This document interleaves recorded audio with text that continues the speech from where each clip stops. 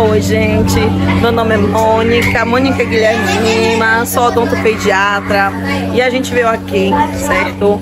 Com esse projeto maravilhoso que é do voluntário.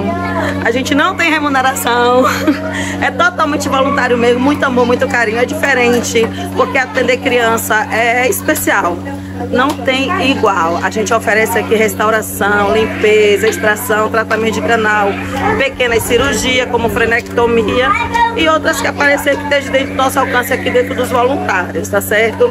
A saúde bucal das crianças aqui tá dependendo da idade da criança, entendeu? Tá razoável.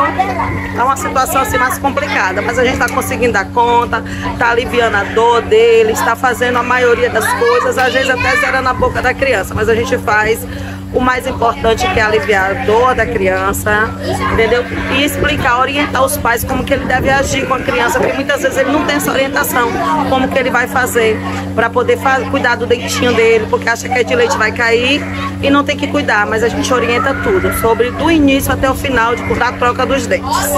Excelente. E qual é o seu diferencial, Mônica, na hora de atender? Isso, ó! Eu sou apaixonada por criança, apaixonada.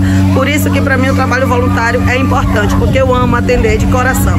É muito apaixonante você receber um abraço, um beijo, um carinho de verdade, sem nada em troca, só esse carinho mesmo.